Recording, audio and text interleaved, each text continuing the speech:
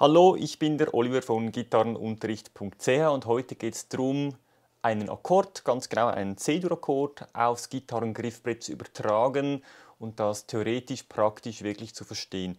Die Gitarre ist nicht dafür bekannt, theoretisch übersichtlich zu sein. Im Gegenteil, es ist wirklich relativ schwierig im Gegensatz zu einem Piano. Was wir heute machen, wir schauen noch ganz kurz ein Review, eine Minute, C-Dur-Akkord, wie aufgebaut, wie passiert das. Wir übertragen ihn auf ein Keyboard, eine Tastatur eines Pianos und dann auch auf verschiedene Art und Weisen auf das Gitarrengriffbrett und das bringt dich dann ein bisschen näher zum Verständnis, wie dieses Instrument aufgebaut ist. Okay, beginnen wir. Hier eine kurze Erklärung, was du siehst. Sehr viel leider, man könnte das ein bisschen vergrößern auch. Und was uns interessiert, ist eigentlich dieser Akkord hier oben, das ist eben der C-Dur-Akkord. Und hier unten siehst du, aus welchen Tönen besteht der. Und da sehen wir, ah, der besteht eigentlich aus einem C. Ja, der C-Dur-Akkord fängt mit einem C an, in der Regel. Gibt Ausnahmen, Umkehrungen etc., spielt keine Rolle hier. Dann hier haben wir ein E und ein G. Das heißt also, wenn du ein C, E und G spielst, dann hast du in einer Form einen C-Dur Dreiklang. Warum drei? Drei verschiedene Töne. Vier Klänge hätten dann noch einen mehr, zum Beispiel ein B obendran noch. Das ist aber jetzt nicht das Thema, das siehst du ja auch da äh, nebendran, dass da eben noch diese vier Klänge gibt. Ähm, allgemein zum Aufbau von drei Klängen ist klar, ähm, vielleicht weißt du das ja schon, du hast eben diesen Grundton bei C-Dur C und du gehst 1, 2, 3, 4 Halbtonschritte, vier Bünde oder vier Tastenschritte auf deinem Piano hoch und dann gehst du nochmals von diesem Ton, dem E, dann einfach 1, 2, 3 hoch und dann kommst du auf den dritten Ton, das G oben. Ähm, genau, das gibt einen Dur-Akkord. Wenn du das gleiche Moll-Akkord machst, siehst du da drüben, hast du da auch ein C, gehst du eben mal 3 hoch und dann gehst du 1, 2, 3, 4 hoch und dann gibt es halt hier einen anderen Ton, ein S oder Englisch E-Flat. Das spielt jetzt nicht so eine Rolle. Wir wissen jetzt, und das müssen wir uns merken, dass das einzige, ein C-Dur-Dreiklang besteht aus den drei Tönen C, E und G. Was wir tun im nächsten Schritt ist einfach, wir übertragen diese drei Töne auf eine Klaviatur. Machen wir das mal, das ist kein Problem. Vielleicht kennst du das ja, du hast ja diese ähm, zwei und drei schwarzen Tasten und immer links von diesen zwei schwarzen Tasten hier hast du ein C. Und das spielt eigentlich ähm, gar keine Rolle, wo du das machst. Das ist ja hier und hier und das C, das findest du auch hier, das C findest du hier und ja, das war's schon. Jetzt würden wir da raufzählen, also eine C-Dur-Tonleiter, haben wir C, D, E, F, G und wir stellen einfach fest, ja wunderbar, wir haben hier ein C, E, G, also jede zweite weiße Taste, angefangen vom C aus, können wir einfach drücken. Das ist natürlich super. Gut, wenn wir das jetzt verschieben möchten, einen anderen Ort, das ist wirklich kein, kein Aufwand auf dem Instrument. Da oben C, E, G. Oder möchtest du gerne unten C, E, G. Und so kannst du eigentlich ganz einfach drei Klänge auf eine Pianotastatur übertragen. Ich behaupte auch, mit diesem System könntest du in einer Lektion quasi 10, 20 oder alle drei Klänge lernen, weil es eben so logisch ist. Das ist auf einer Gitarre nicht denkbar. Zur Ergänzung für die etwas fortgeschritteneren.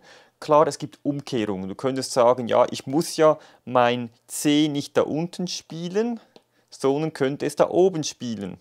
Und dann spricht man eben von Umkehrung, das wäre die erste Umkehrung. Oder wenn du dieses E hier, auch oktavierst, sagt man das, eine Oktave nach oben bringst, dann hast du das E hier, das E unten würden wir dann verlieren und dann haben wir nochmals eine Umkehrung, das wäre die zweite Umkehrung. Das aber am Rand erwähnt nicht so wichtig im Moment.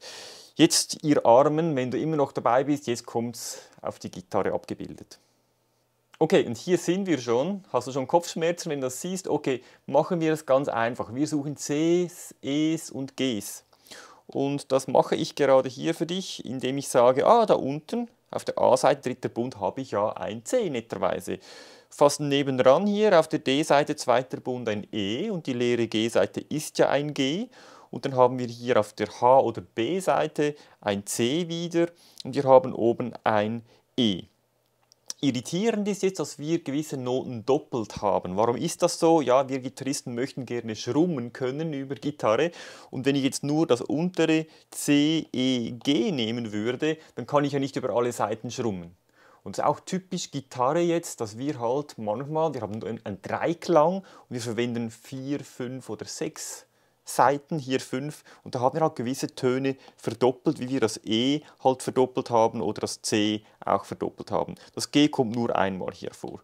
Gut, gehen wir da ein bisschen zurück, dass wir die Übersichtlichkeit nicht ganz verlieren. Jawohl, das ist eine Möglichkeit, wie du einen C-Dur-Akkord spielen könntest. Wahrscheinlich deine erste Möglichkeit, die du gelernt hast auf dem Instrument, den du schon kannst. Jetzt gehen wir doch weiter und sagen, ja, was könnten wir dann noch machen? Es muss ja noch mehr Cs, Es und Gs geben. Wo sind die nächsten?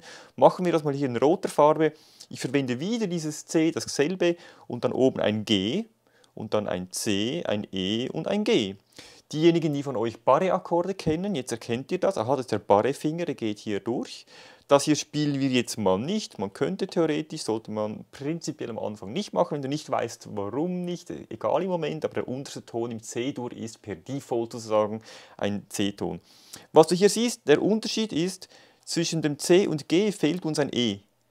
Warum machen wir das? Ja, ich als Gitarrist kann dieses E hier oben nicht spielen. Es befindet sich ja auf der gleichen Seite wie das C. Also ich würde mit diesem E hier, würde ich das untere C einfach äh, abdecken hätte keine Wirkung mehr. Und das heißt also, es gibt verschiedene Voicings, das heißt verschiedene Anordnungen der Töne. Währenddem wir ähm, da unten ein Voicing haben, das quasi geschlossen ist, kommt nach dem Alphabet C, E, G, C, E, G etc., haben wir da oben ein Drop-Voicing, das muss ihr nicht merken jetzt, aber da wird das E eben gedroppt, weggelassen oder eine Oktave ober, äh, oberhalb wieder äh, wiedergegeben. Gut, ähm, gehen wir wieder ein bisschen zurück und schaffen Ordnung. Das ist schön, das gefällt mir. Es gäbe auch die Möglichkeit, das ist für Anfänger überhaupt, ich selber verwende das relativ selten, ich finde es auch unangenehm, aber es wäre eine Möglichkeit, ähm, die, das Cage-System kennen, das wäre das G, hier das C, äh, so zu spielen, also den C-Dur-Akkord. Und das seht ihr wieder, also es ist wieder C, E, G, C, E, C. Man könnte auch sagen, ja, wäre noch schön hier oben das G zu spielen, dann mangels Finger wird das relativ schwierig, machen wir also nicht. Ähm, sonst wäre das äh, gleichwertig, können es beides machen und du stellst auch wieder natürlich fest, wir haben zum Beispiel dreimal hier ein C. Wir haben zweimal ein E, aber nur einmal ein G. Gut, gibt es noch mehr Möglichkeiten. Natürlich, ähm, das wieder ein Barre, eine Barre-Version und da möchte ich wieder eine schöne Farbe nehmen. Jawohl.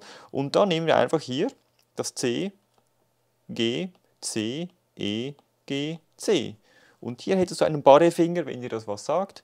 Ähm, das wäre eine weitere Möglichkeit. Und jetzt könntest du sagen, wenn du ganz, ganz gut aufgepasst hast, das ist wieder ein Drop-Voicing, weil es ist nicht C, E, G, C, E, G, sondern C, E haben wir weggelassen aus dem bekannten Grund. Wir können nicht äh, beide Töne einfach spielen, instrumentenspezifisch. Ein Pianist würde das so nicht einfach freiwillig machen. Der hat andere Möglichkeiten, Spread-Voicings und so weiter.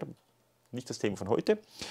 Und so siehst du also, wie sich diese Griffe abbilden. Und theoretisch könntest du einen D-Dur-Akkord nehmen, dann findest du heraus, der besteht aus D, Fis und A und trägst die Töne überall ein auf dem Griffbrett und du würdest dann schauen, was ist greifbar, was kann ich verbinden und du kommst dann genau auf die Akkorde, die eben einem D-Dur-Akkord ähm, dann entsprechen oder auf diese, auf diese Patterns. Ja, ich hoffe, ich konnte dir so ein bisschen näher bringen, ein bisschen mehr Übersicht. Es ist nicht einfach zu sehen, aber so, wenn man uns aufbaut, kann man das sicher nachvollziehen. Tschüss, habt einen schönen Tag.